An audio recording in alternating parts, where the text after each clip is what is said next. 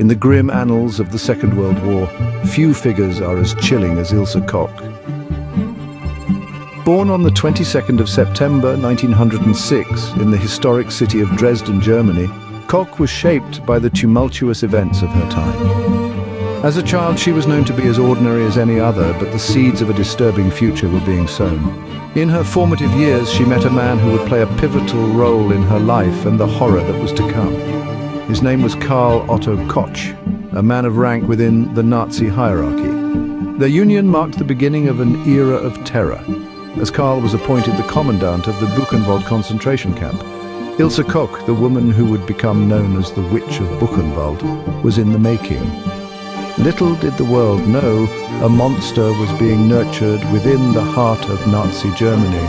Buchenwald concentration camp, a place of unspeakable horrors, was Ilse Koch's playground.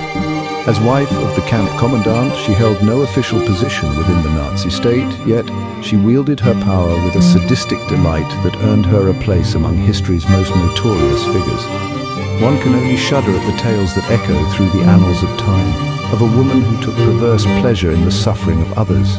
Ilse Koch, the woman who would become known as the Beast of Buchenwald, was infamous for her brutal, inhumane actions. She would ride through the camp, whip in hand, lashing out at prisoners at random. To be caught in her path was to face a cruel and merciless fate, as many were whipped to death under her merciless hand. Yet her cruelty did not end there. Ilse Koch was known to take a particular morbid interest in the tattooed skin of her victims. She would select these unfortunate souls for death, their bodies flayed and their skin used to feed her grotesque fascination. Lampshades, bookbindings, even a handbag, these were the chilling trophies of her reign of terror.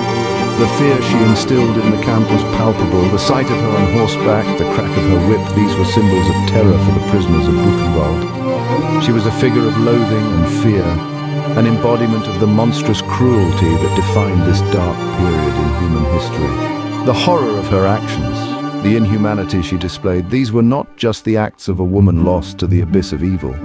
They were a stark reflection of the systemic brutality that characterized the Nazi regime. In the midst of a world war, Ilse Koch was waging her own personal war against humanity.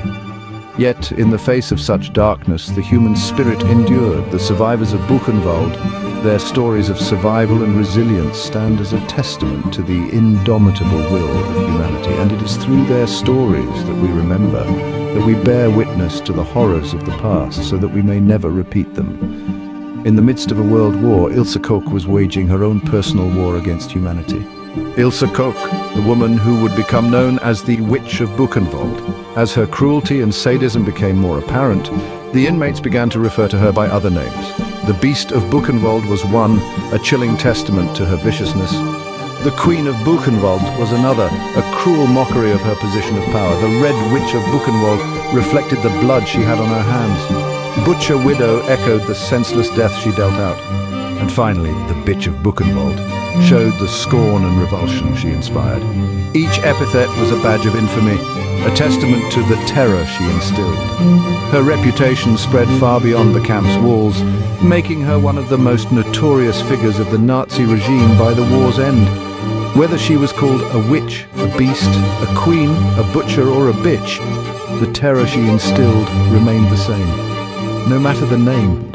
Ilse Koch, the notorious Witch of Buchenwald, found herself facing trials for her unspeakable acts, yet shockingly, the most serious allegations against her, the selection of tattooed prisoners for death to harvest their skin, were found without substantial proof in not one but two separate legal proceedings. In the face of such grave accusations, the lack of concrete evidence did little to quell public outrage. Koch was imprisoned not for her most heinous crimes, but for her undeniable involvement in the atrocities of the Holocaust. Her final years were spent in Aichach Women's Prison, where she was haunted by delusions of persecuted prisoners seeking vengeance. In a final act of cowardice, Koch chose her own demise over facing the consequences of her actions. She penned a suicide note to her son and on the 1st of September 1967 she took her own life. Ilse Koch, the Witch of Buchenwald, met her end not at the hands of justice but by her own hand, leaving behind a chilling legacy of horror and inhumanity.